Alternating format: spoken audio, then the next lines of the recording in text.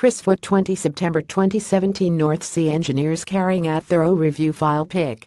STVA helicopter's window popped out as the aircraft flew over the North Sea.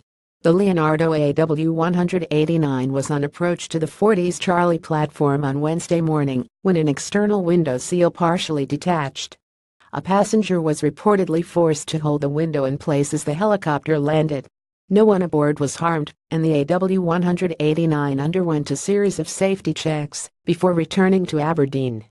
A spokeswoman for Bristow Helicopters said following standard operating procedures, the crew landed safely on the platform with the window remaining in place, and the aircraft was shut down for maintenance review.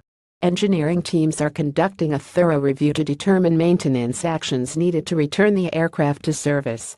Bristow Helicopters spokeswoman following this review, the aircraft was granted permission to return to Aberdeen International Airport, landing safely just after 5 p.m. without incident. Engineering teams are conducting a thorough review to determine maintenance actions needed to return the aircraft to service.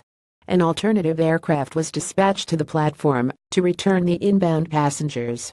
It is unclear whether the window was meant to be removable, but some can be ejected to allow passengers to escape after an emergency landing. Download the STV News app as Scotland's favorite and is available for iPhone from the App Store and for Android from Google Play. Download it today and continue to enjoy STV News wherever you are.